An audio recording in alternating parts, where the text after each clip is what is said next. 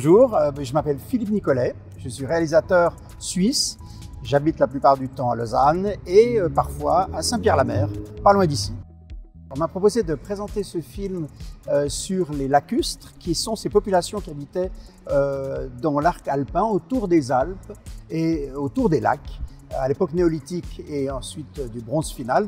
Donc pendant plusieurs milliers d'années, les gens habitaient sur pilotis, sur des habitations. Et ce qui était très intéressant pour nous, c'est de constater que lorsque ces lacs ont monté, eh bien, euh, la plupart des, des objets usuels sont restés sous l'eau et se sont conservés d'une manière absolument extraordinaire, autant que ce que sont conservés par exemple les objets d'Égypte. Ce que je pense, c'est qu'il est extrêmement riche dans sa diversité. Ça, c'est ma grande surprise. C'est la première fois que j'y suis.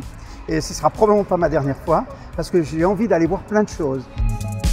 Dominique Hatt, je suis réalisateur depuis assez longtemps et je travaille sur des documentaires pour euh, France 5 et France 3, euh, beaucoup de documentaires histoire. Alors, le film sur Descartes, c'est une recherche scientifique et historique sur le personnage, euh, sur le fondateur de la philosophie moderne, se basant sur trois éléments concrets, donc son crâne, qui est au Musée de l'Homme. Le festival euh, est plutôt sympathique, un très bel accueil et euh, de mon point de vue, c'est toujours intéressant d'être confronté au, public de, des films que je fais parce que ces films-là, d'habitude, sont diffusés à la télévision. Et, euh, là, je suis face au public avec ses réactions qui peuvent être agréables ou pas d'ailleurs, mais, c'est un, moment de vie qui est, super intéressant.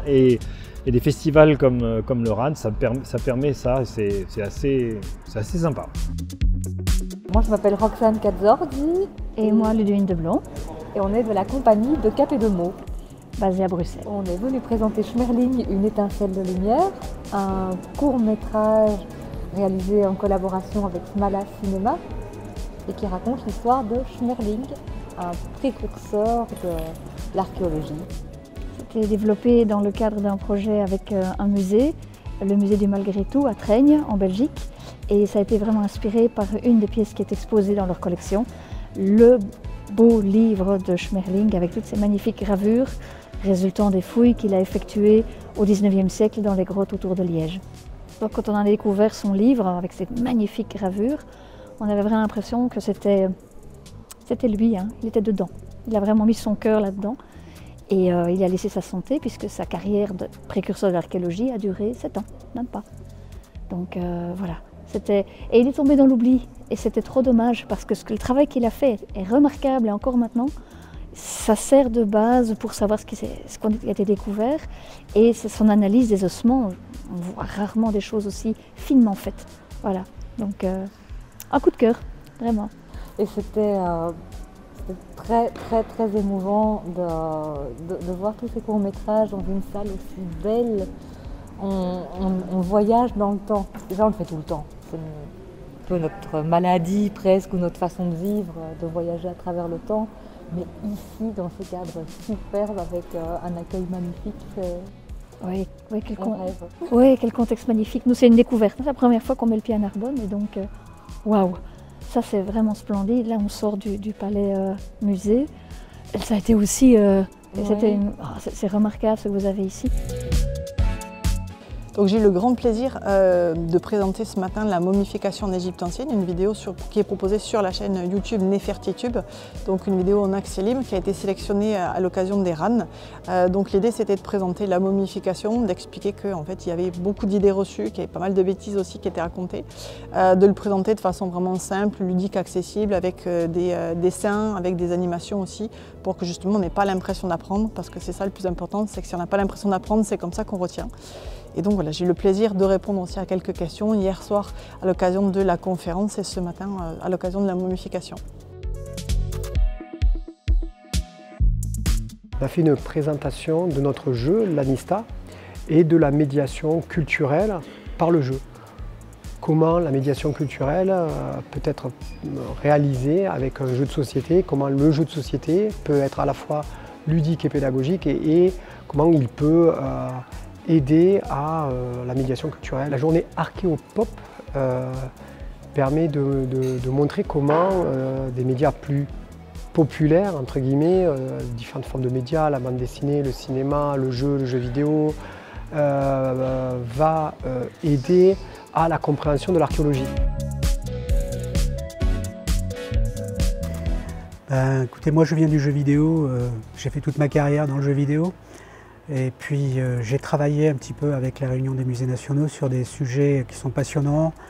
Avec Béatrix Saul, on a fait Versailles, avec Marc Etienne, on a fait euh, l'Égypte, on a reconstitué la tombe de Séti Ier autour de jeux vidéo qui étaient. Euh, et donc ça, justifie complètement le fait que je sois ici je suis très très heureux de, voir ce qui se passe à Narbonne vraiment. Et, les RAN, c'est quelque chose d'intéressant, de, passionnant. J'ai vu un petit peu ce qui se passait dans le monde de la bande dessinée, euh, aussi et de la reconstitution historique.